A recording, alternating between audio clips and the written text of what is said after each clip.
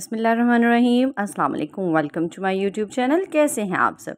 आज आपके साथ मैं शेयर कर रही हूँ बहुत मज़ेदार सा वाइट कोरमा की रेसिपी, जो कि खाते हैं आप शादियों में। बिल्कुल वैसा ही टेस्ट होगा।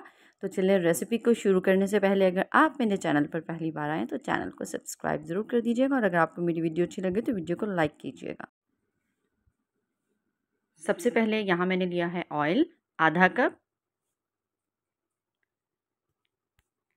और कुकिंग ऑयल में हम शामिल करेंगे प्याज। ये मैंने चार अदद छोटे साइज़ के प्याज लिए थे, जिसको मैंने चॉपर में डालकर चॉप कर लिया है। अगर चॉपर नहीं है तो आप इसको ऐसे ही बारीक बारीक सा काट लें। इसमें जाएँगे कुछ गरम मसाले, खड़े मसाले, जिसमें एक पीस लिया है मैंने जावित्री का, एक पीस लिया है मैंने दालचीनी का, एक अदद बड़ी इलायची, तीन अदद लौंग और कुछ ली थी मैंने काली मिर्चें।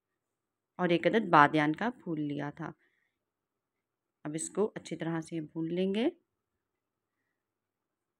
प्याज अच्छी तरह से जब गुलाबी सा हो जाए, इसको हमने ब्राउन नहीं करना क्योंकि हम वाइट कौरमा बना रहे हैं और तो जैसे ही प्याज हल्का सा गुलाबी हो जाएगा तो इसमें डाल देंगे लहसुन, अदरक का पेस्ट एक चम्मच भर के या दो छोटे चम्मच।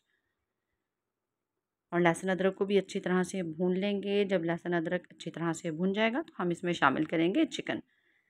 यहाँ मैंने लिया था डेढ़ किलो चिकन और चिकन को अच्छी तरह से भून लेंगे। इसका जो कलर है वो चेंज होने तक हल्का हल्का सा जब इसके ऊपर कलर आना शुरू हो जाएगा, तब तक हम इसको भून लेंगे।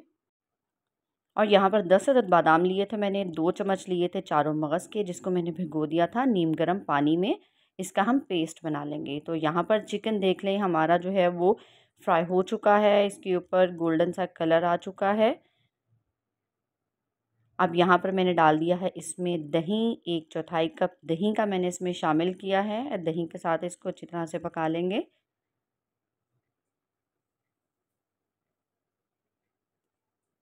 और अब इसको कवर करेंगे। कवर करके हम इसको पकाएँगे। दही जो है वो अपना ही पानी छोड़ देगा। यहाँ पर ये देखें, चिकन हमारा एट्टी परसेंट तक यहाँ पर कुक हो चुका है। हल्का सा जो इसमें पानी है वो भी हम पुश कर लेंगे। यहाँ मैंने इसमें बिल्कुल भी पानी नहीं डाला, दही नहीं अपना पानी छोड़ा था। इसी स्टेज पर मैं डालूँ इसमें नमक, आधा चम्मच, आप अपने टेस्ट के अकॉर्डिंग कम या ज़्यादा कर सकते हैं। साथ ही इसमें जाएगी सफ़ेद मिर्च, तकरीबन डेढ़ चम्मच सफ़ेद मिर्च का इसमें जाएगा। सफ़ेद मिर्च अगर आपके पास नहीं है तो आप काली मिर्च भी इस्तेमाल कर सकते हैं। हम बना रहे हैं वाइट कौरमा। सफ़ेद कौरमा और वाइट कौरमा में सुरख मिर्च बिल्कुल भी नहीं जाती है। और अब जो मैंने बादाम और चारों मगज़ का पेस्ट बनाया था, वो यहाँ पर शामिल कर देंगे। इससे बहुत ही क्रीमी सा, बहुत ही मज़ेदार सा इसका टेस्ट आएगा। और यहाँ पर इसमें मैं डाल रही हूँ फ्रेश क्रीम। एक पैकेट मैंने फ़्रेश क्रीम का लिया था, वो यहाँ पर शामिल कर देंगे।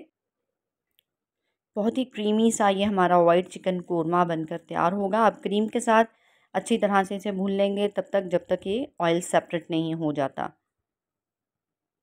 आँच को आपने मीडियम टू हाई रखना है। और यहाँ पर इसे हम पकने देंगे जब तक ये ऑयल रिलीज़ नहीं कर देता। और ये देखिए ऑयल जो है इसमें रिलीज़ हो चुका है। यहाँ पर मैं डाल रही हूँ हरी मिर्चें और उसके साथ तीन अदद मैंने सुरख मिर्चें भी डाल दी थी, वो भी इसमें खूबसूरती के लिए अगर आपके पास नहीं है तो आप सिर्फ़ हरी मिर्चें ही यहाँ पर डाल दें। इसके साथ ही इसमें मैं डालूँगी कटे हुए बादाम। भीगे हुए बादाम थे, जिनको सेंटर से मैंने दो कर लिया था और इसमें डाल दिया। और यहाँ पर जी, ये देखें, माशाल्लाह से हमारा वाइट चिकन कोरमा बनकर तैयार है। बहुत ही मज़ेदार सा, बहुत ही यमी सा ये बनकर तैयार हुआ था। जब ये आपके मेहमान खाएँगे तो उंगलियाँ चाटते रह जाएँगे और आपकी तारीफ़ ज़रूर करेंगे कि ये बहुत ही मज़ेदार सा चिकन कोरमा बनकर तैयार हुआ है। चलिए जी, मैं तो इसको टेस्ट करती हूँ कि ये कैसा बना है। और देखें कितना क्रीमी है, आप इसको खाएँ सैलड के साथ इंजॉय करें और अपने मेहमानों को भी ज़रूर इंजॉय करवाएँ। और ये माशाल्लाह से बहुत यमी बहुत ही मज़ेदार सा बनकर तैयार हुआ था। चैनल पर नए हैं तो चैनल को सब्सक्राइब करना मत भूलिएगा। वीडियो को फ्रेंड्स और फैमिली में ज़रूर शेयर कीजिएगा। वीडियो कैसी लगी कमेंट्स में ज़रूर बताइएगा। फिर मिलते हैं नेक्स्ट वीडियो में। तब तक खाओ, पियो, मज़े करो। अल्लाह हाफिज़।